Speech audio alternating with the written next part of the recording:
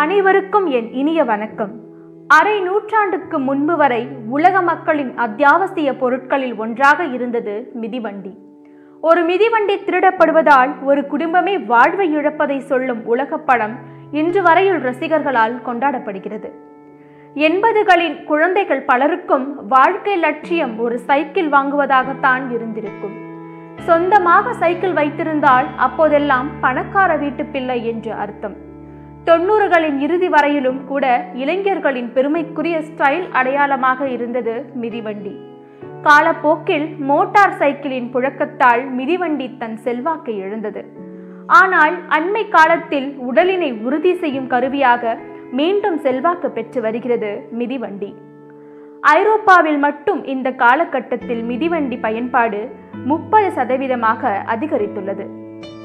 சுற்றுச்சூழலுக்கு உகந்த வாகனம் சைக்கிள் என்பது நாம் அனைவரும் அறிந்த ஒன்றே. எனவே அக்கம் பக்கத்தில் இருக்கும் கடைகளுக்கு செல்வதற்கு சைக்கிளை பயன்படுத்தலாம்.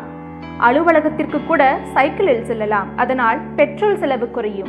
பணமும் மிச்சமாகும். அலுவலகம் அருகில் இருந்தால் மட்டும் வாரம் ஒருமுறை சைக்கிளில் செல்லலாம்.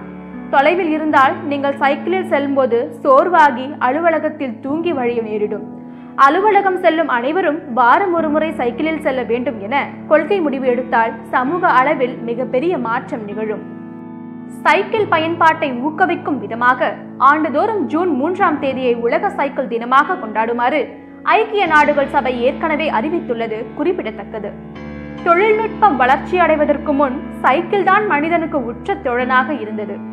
மோட்டார் சைக்கிள் கார் உள்ளிட்ட புதிய வாகனங்களின் வரவு சைக்கிள் பயன்பாட்டை மட்டுமல்லாமல் மனிதனின் ஆரோக்கியத்தையும் அழித்து விட்டதே என்றே சொல்ல வேண்டும். உடல்நலம் குறித்த விழிப்புணர்வு அதிகரித்து வருவதால் சைக்கிள் ஓட்டுபவர்களின் எண்ணிக்கையும் அதிகரித்து வருகிறது.